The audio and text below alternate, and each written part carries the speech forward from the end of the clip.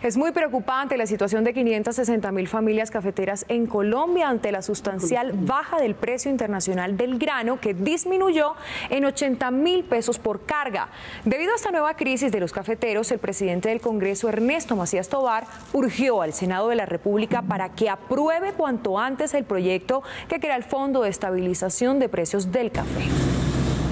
los cafeteros están esperando que se convierta en ley porque ellos ya entienden claramente que este va a ser por lo menos su seguro, por lo menos va a mantener